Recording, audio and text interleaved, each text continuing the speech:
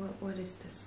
Like, who are you? What are you doing in my video? Es ist immer dasselbe. Ich Ah. Anyway, kommen wir zum Punkt. Nummer eins wäre nämlich meine Schlafanzughose. Punkt Nummer zwei wäre, dass das Duschgelmonster nicht tot ist. Ich habe versucht, es zu töten, jahrelang.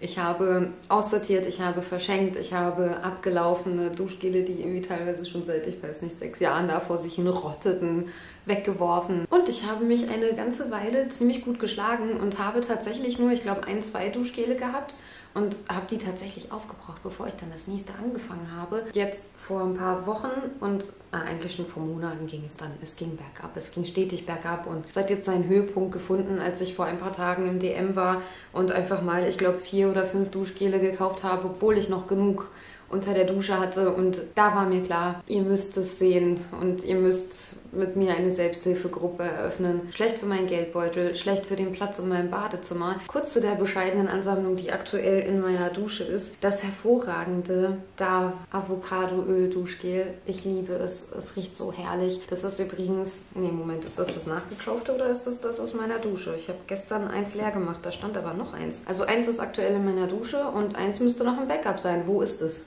Das Duschgelmonster hat so gut gehortet, dass es seine eigenen Sachen nicht wiederfindet. Oh mein Gott, Le Petit Marseillaise, spricht man es so aus? Das ähm, französische Duschgel, was es jetzt neu im DM gibt, was ich seit Jahren beobachte und von dem ich niemals gedacht hätte, dass es so gut riecht, phänomenal. Die Mandelvariante. Ich könnte mich ja in Mandel sowieso reinsetzen. Ihr wisst wahrscheinlich noch von meiner Obsession mit der Mandelserie von L'Occitane, was wenn ihr mich fragt, wahrscheinlich der beste Duft dieser gesamten Welt ist. Und das kommt dem sehr, sehr ähnlich. Es riecht nochmal anders. Ich finde, es riecht nochmal wärmer. Aber das ist ein grandioser Duft. Und der ist so viel günstiger als das L'Occitane Duschöl, was ich übrigens jetzt auch schon eine ganze Weile lang nicht mehr benutzt habe. Es gibt ganz viele andere Geruchssorten. Mir wurde bei Instagram, glaube ich, auch gesagt, dass der DM erstaunlich wenige hat, weil es davon wohl Kraboom eine ganze Reihe gibt. Ich habe an den anderen gerochen. Ich fand Milch noch ganz nett. Vanille ist auch sehr beliebt, aber ich stehe ja nicht so auf Vanilledüfte. Und ich habe letztens im DM noch einen zweiten gekauft, weil ich so Angst hatte, dass mir der hier leer geht.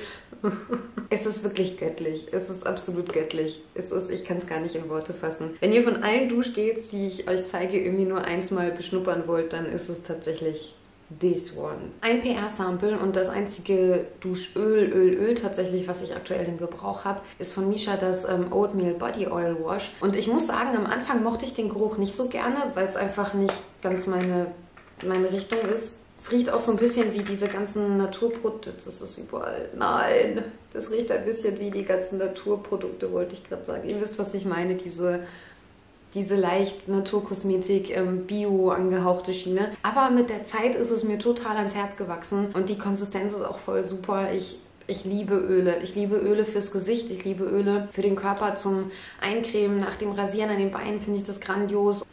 What am I gonna do? No. Das Geschenk von einer Freundin, ich wäre niemals darauf gekommen, mir das hier zu kaufen. Von Freiöl, Wasch- und Duschcreme pH 5,5. Aber ist total angenehm, hat eine super schöne Konsistenz. Riecht so nach, nach gesund, pflegend klingt jetzt total unattraktiv, oder? Aber es ist echt, es ist echt schön. Ich habe sogar darüber nachgedacht, es mir nachzukaufen. Aber ich darf jetzt erstmal keine Duschgele mehr kaufen, okay? Auf Empfehlung von derselben Freundin Moni, ich merke gerade, du, du bist vielleicht daran schuld, dass das Duschgelmonster wieder lebt.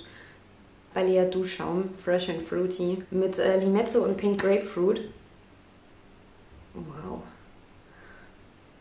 Mi, mi, mi, mi, mi, mi, mi. Ich weiß schon mal, was nach diesem Video in die Waschmaschine darf. Ich und meine Hose. Ja, das waren die aktuell im Gebrauch. Ne? Jetzt kommen wir mal zu den 7000, die ich nachgekauft habe. Also einmal wäre es ja so eins gewesen. Dann von TT Sept, ganz toll, habe ich entdeckt, äh, so eine Hallo-Serie. Es fällt mir jetzt erst auf, dass die Hallo heißt. Hallo Lebenslust, Hallo Schönheit Hallo Glückstag. Die fand ich faszinierend lecker. Also was ich bisher ausprobiert habe, weil ich es natürlich nicht lassen konnte und alles anbrechen musste, damit möglichst viel kaputt in der Dusche rumsteht, ist die Blutorange Minze. Oh mein Gott, die riecht richtig frisch, fruchtig, absolut nach Sommer und Urlaub und ich bin, ich bin auf einem anderen Planeten, wenn ich das rieche. Es ist absolut herrlich. Dann gibt es noch Granatapfel Magnolie. Das riecht so ein bisschen mehr blumig und oh mein Gott. Oh nein, es tut mir sehr leid, aber ich glaube, davon wird mir schlecht. Ich hasse das, wenn etwas im Laden irgendwie anders riecht, weil man gerade noch zwei andere Sachen in der Nase hatte und Schade. Uh, mm, okay. So, Hallo Lebenslust, Matcha Tee Goji Beere. Ja, das gefällt mir noch. Tee ist ja der nächste Geruch, mit dem man mich immer kriegen kann. Schwarzer Tee, grüner Tee, ich könnte mich da reinsetzen. Oh, und es steht vegan drauf. Für die, die es interessiert, bei dem hier, bei dem hier nicht. Und bei der armen Granatapfel-Magnolie steht es auch nicht mit drauf, aber das hier ist vegan. Eins hätte ich fast unterschlagen von Kneipp, das Duschtonic. Das ist übrigens der Grund, weshalb ich überhaupt zu den anderen gegriffen hatte, weil die nämlich daneben standen. Das Duschtonic Pink Grapefruit und ich weiß nicht, wie man das ausspricht, Vetiver, Vetiver, herrlich. Das erinnert mich an irgendwas, aber ich weiß nicht mehr an was. The Body Shop? Hatte ich nicht mal eine Pink Grapefruit The Body Shop Obsession? Das ist eine Weile her. Okay, fassen wir zusammen. Aktuellen Benutzungen sind 3, 4, 5.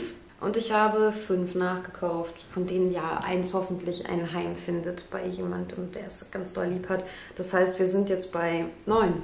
Hervorragend. Eigentlich zehn. Ihr solltet mich updaten zu eurem Duschgel-Monster-Status. Ich wäre maximal gespannt. Gerne auch, wenn ihr keine Kommentare irgendwie bei YouTube schreiben wollt oder mir ein Foto schicken wollt, dann ähm, schickt mir das gerne als Insta-Story, weil ich nämlich eine kleine Insta-Story-Obsession irgendwie hege und sowieso generell sehr viel bei Instagram bin. Also falls ihr da mal vorbeischauen wollt, sehr, sehr gerne. Ich verlinke es euch unten in der Infobox. Und falls ihr mir ein Duschgel empfehlen könnt, tut es nicht. Bis bald!